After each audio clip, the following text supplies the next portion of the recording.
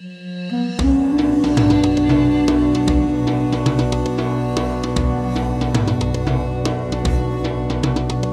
afternoon and welcome to this week's edition of Halftime Talk. And I'm delighted to be joined in our feature interview with Michal Meidan, Head of China Energy Research at the Oxford Institute for Energy Studies. Thank you, Michal, for joining us today.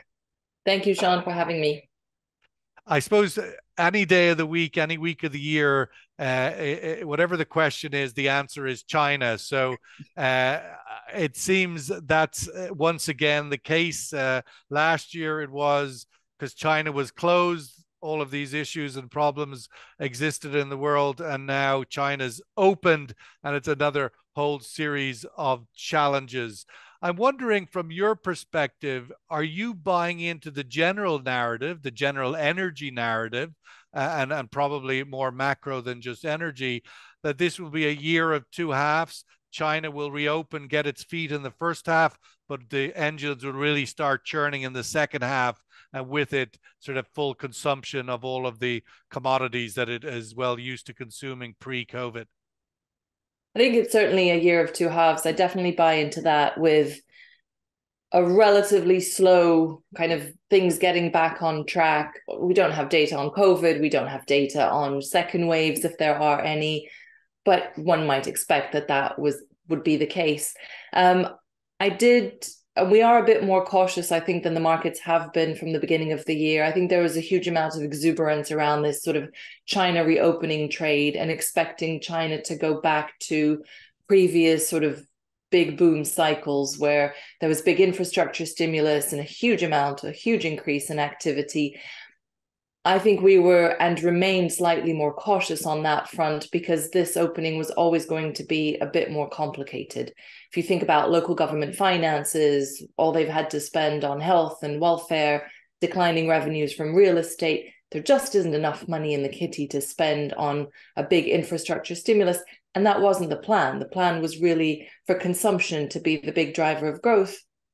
Even that is a bit of a mixed bag. I mean, if you look at the data so far, we have seen I, use the word revenge spending quite cautiously. We have seen more consumer activities, but not a big uptick in uh, sales of consumer goods, for instance. So, mobility, demand for again, gasoline, jet, all of those was up quite strongly, but consumers still remain cautious. And this notion that China's opened up and again, revenge spending will be massive.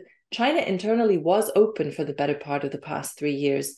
We did have lockdowns last year, but there's the baselines are different. And so I think we have to be a little bit careful about our expectations. So, and of course, we didn't have the same model as we had in in the G7 or certainly in, in, in the Western economies where the governments gave a lot of stimulus to the population. I mean, literally mailed them checks to spend. Uh, China's population didn't receive checks from their government, so they don't end up coming out of COVID with a big lump of disposable income to burn.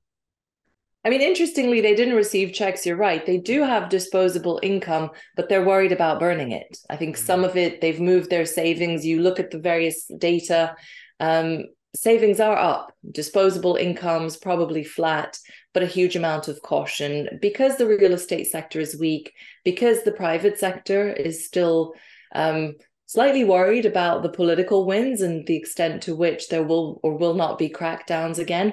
All of these are big drivers of employment. We're seeing youth unemployment really high in China. So, again, a huge amount of concern by consumers about their future. When you look at the PMI data that's come out uh, of China in recent weeks, we see the manufacturing uh, PMIs are, are low and disappointing, but the services are robust and, and, and, and growing, it would appear. Is this the new China that we just have to get used to? And that indeed maybe the leadership in China is happy to see this uh, divergence? I mean, certainly the plan has been to encourage more consumption, right? It's about being more self-sufficient. It's about increased productivity as as the demographic trends are showing a decline in population. That's clearly the plan, but I think what we need to get used to is not so much a service oriented China, but actually a China with quite a bit of policy volatility and sort of this mixed bag and mixed messages. Again, we don't know that the consumer or that the service industry is really taking over and is driving growth. Um, you know, the, the National Bureau of Statistics has this index of sort of China's new economy, the digital economy, electric vehicles, that's been that's roughly 17% of gdp and maybe 10% of growth. So the kind of old economy of infrastructure and real estate is still a really big driver of growth. And without that we're not going to see you know gdp growth exceeding the kind of around 5% that the government is talking about. We're not seeing this big surge.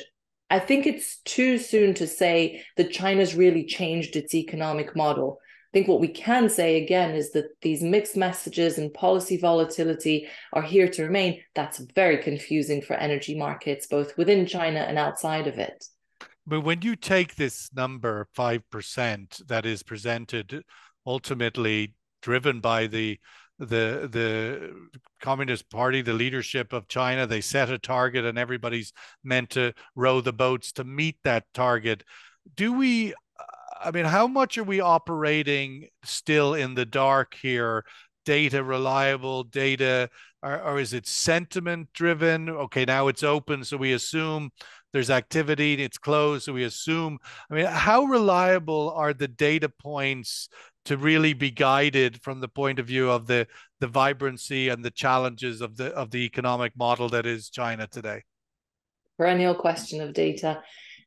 I think, you know, official data, we have to work with it. I think it is getting better, especially in the energy sector and in oil markets where there was so much tax avoidance and evasion that skewed the data considerably. We've had a lot of crackdown on some of those tax practices, which has actually meant that oil data is a bit better. The macro indicators, I think they're probably as good as Beijing gets. So if there is obfuscation or, or you know, creative tax practices on the provincial level, those still filter up to what Beijing gets. Um, I think we have to use that. We have to use anecdotal evidence. We have to use what we're seeing on the ground uh, and try and triangulate all of that. But from what we are seeing so far, you know, yes, travel has recovered very strongly. We've had the Lunar New Year, we've had the May Day travel. So that's gasoline and your jet demand. Infrastructure and industrial activity is harder. I mean, if you look at emissions, you can see that that's up, but that's mostly from the power sector because coal is back. From the oil sector, refining and chemicals are back. Um, cement a little bit, but sort of again, steel, cement, the real estate sector, construction, infrastructure, those are the ones that are open questions. That's a big question mark for distillate demand if we're thinking about the oil market, but also for gas demand because industry is the biggest consumer of gas in China. So again, we use the data, we look at the data, but we have to triangulate it. We, we have one of our regular China commentators on this morning on the uh, the podcast saying that uh, China's crude oil imports have have been much larger than what the customs data show, because a lot of cargoes have been importing in the name of bitumen blend or diluted bitumen, which have been flowing from sanctioned cargoes. Uh, so even at the, the normal sort of co- course of events, as you just articulated, are now maybe even murkier uh, with this uh, context of you know sanctioned Iranian oil, uh, Russian uh, products and crude. How how how much is that sort of conf- sort of obfuscating the uh, the current picture? If it was just diluted bitumen, I think we'd be in a good position. I mean, if you look at the data, we had last year, we had a huge amount of obfuscation through that. And then there was a tax crackdown. This year, it's probably 200, 300,000 barrels a day above average from diluted bitumen. But then you have to add fuel oil, which some of the independent refiners are bringing in. Now, it could be fuel oil as actual feedstock, not crude. Um, but that is they're using that with Iranian condensate and um, Russian and Iranian naphtha as well to use that for feedstocks into chemicals. Um, so again, you've got sort of potentially higher than than we know output.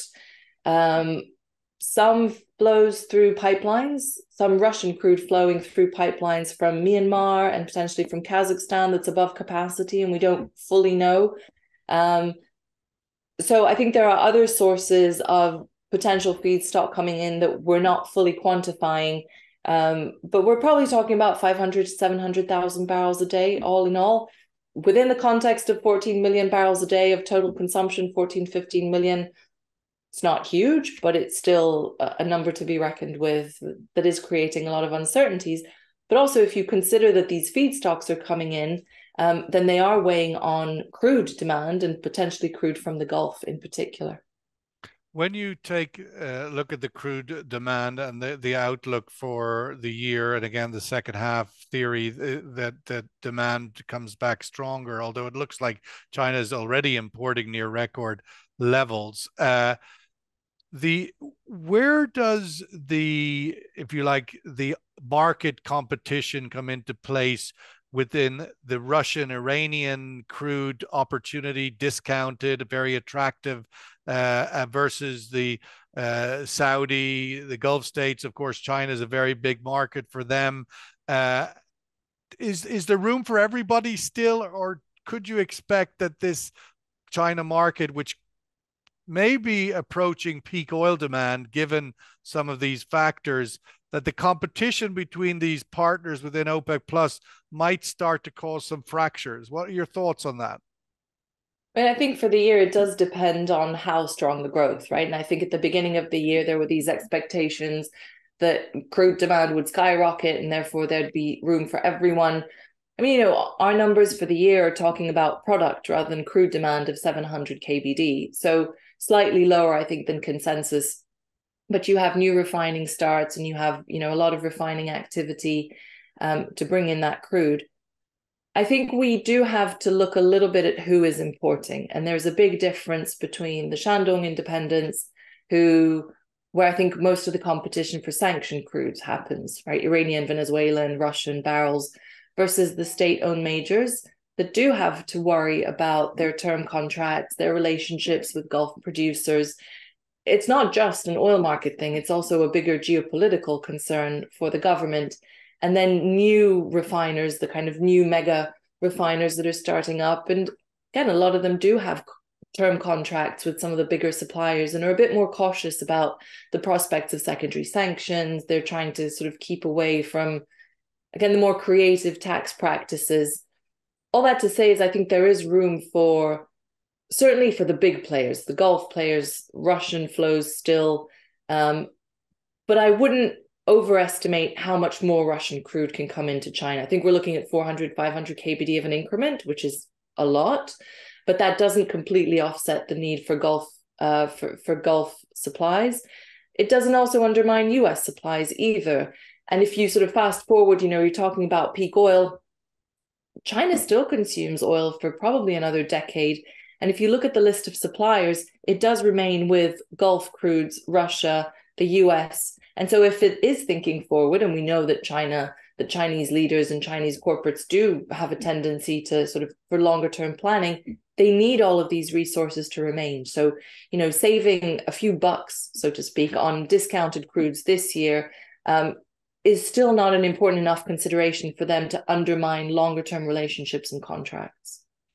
Just on that point of, of peak oil demand uh, in China, we, we given the context of this structural change, and of course you pointed out that China's economy has not yet really changed uh, that much, although the the desire is for it to change. Uh, but given uh, the the demographic plateau to decline, given the sort of reorganization of global supply chains moving away from China uh, slowly, but nonetheless, you would say perhaps it's peaked. Uh, the the China as the sort of manufacturing center of the world, uh, uh and so uh, the move Apple to India being the more headline grabbing one. But we've already had many moves to Vietnam and others because of the cost effectiveness. But supply chain move, etc. The, the the environmental impact currently, obviously coal and notably, but generally the reasons why you can build the case why we're getting close to peak oil demand. Do you think that's overcooked? Your thoughts on where that might land? If you look at a lot of the different scenarios, um, where anywhere, I think the consensus is again, Chinese oil demand still grows certainly into the 2030s and then peaks um, with demand being sustained mainly for chemicals. But we had, I don't know if you know Feridun Fesharaki, as I presume you do. Uh, he said at a forum last week in, in Dubai, uh, the, the MPGC, that he saw peak China oil demand in 2026, 2027 which is yeah maybe for gasoline and diesel i think peak oil demand in general i mean look at the chemicals complex you still have a huge amount of oil demand for chemicals that right. continues through the 2030s i think I think it would be very interesting if his predictions of peak oil demand came true in the next couple of years. I can totally see that for gasoline and diesel, um, mainly for gasoline in the next couple of years. Electrification is gaining pace, but again, even if you think about all the EVs that are added in China, and there are lots of them that are being added, that is new mobility. That isn't taking off existing ICE vehicles from the roads um, again, your jet fleet, and most of the demand for transport in China is actually for freight. And there is movement to electrify and to move to rail and to move to maritime transport. But again, that doesn't take your cars and your trucks off the road. And if China does manage to generate its sort of service industry, and it is moving towards a more consumer and service industry, that is still a lot of goods being moved around. Um, you know, e-commerce and trade. You know, China's urbanization is not over and it probably peaks somewhere towards the 2030s. And all of that, I think, still generates a huge amount of demand for oil. Um, so I think we, we still have, but sort of to your point, I think it's a question of how much. Does it grow by a million barrels a day and then peak, or does it grow by 3 million barrels a day and then peak? And then how much does it decline thereafter? But it's interesting, we've been doing a study on this most of the scenarios, if you look at Chinese scenarios, IEA, Shell, BP, different levels of growth and then decline, they all still have China as the biggest consumer and importer of oil well into the next decade. And when you intersect into that, the growing sort of geopolitical tensions uh, we, with the US in particular, but now increasingly it looks like Europe's been pulled into that same vortex. Does that impact the Venn diagram with oil demand, oil consumption, growth, uh, or it's just a parallel and will have no impact? I mean, it's probably a parallel. It's hard to say that it will have no impact, but right. what we're seeing already from sort of the Trump tariffs, for instance, yeah. and you know efforts to move away from China, is that actually China's share of global exports has risen, not fallen. Now, the share of exports to the US has fallen, but a lot of that of those exports are coming from other countries. So stuff that is being produced by Chinese companies or with Chinese inputs in Vietnam, Mexico, you know, and you talked about Europe. Germany, for instance, has been selling much more manufactured goods to the US, but it needs Chinese components to do that. So actually, Chinese exports to Germany have increased I mean, I think there are very few ways around it. If we want to still be producing cheap consumer goods, yes, a lot of that is moving and has already started moving to Southeast Asia and to other countries other than China. And, you know, companies have been working on a China plus one or a China plus many. But the scale and efficiency that you have in China, the relatively low cost of labor and inputs, is still hugely appealing. Now, does that change? Radically in a decoupled world maybe but then that looks as that is an increasingly inflationary world where we get slower growth all across the board and in china too. Well the easiest question or the hardest question for last depending on your point of view uh, if you were sitting in the opec headquarters on the weekend advising how opec plus should plan their second half of the year strategy uh, would you expect that Saudi are going to have to extend that cut in July, or one month will be enough to bridge OPEC plus into that yummy spot of second half demand out of Asia and China? I mean, I think Saudi still has its market in Asia, and whatever it does sort of for the rest of the world, its focus on Asia is critical for its future, right? So cutting demand now I think it will have to it will have to raise its flows to China because it wants to remain competitive in that market, no matter what it does to the rest of the world. It will surprisingly be today it has risen its prices. It's ro- it's it's uh, its price for uh, crude into Asia for July uh, has gone up. The expectation was going to go down. and they've raised their OSPs.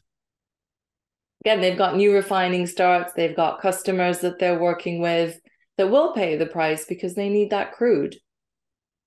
But in terms of this sort of immediate quarter ahead, the the idea that OPEC will be cutting going into the second half of the year, which obviously is the seasonal demand rise, regardless of how strong the rise is, but ultimately the cycle is is upward.